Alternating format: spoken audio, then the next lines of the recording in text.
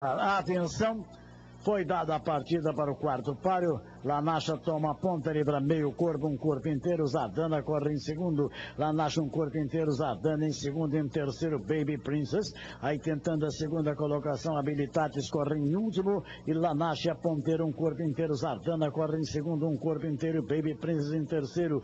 Um de luz, Habilitates corre em quarto. E Lanacha ponteira, mantendo um corpo de vantagem. Zardana corre em segundo, um de luz. Baby Princess em terceiro, um corpo inteiro. Habilitates corre em quarto.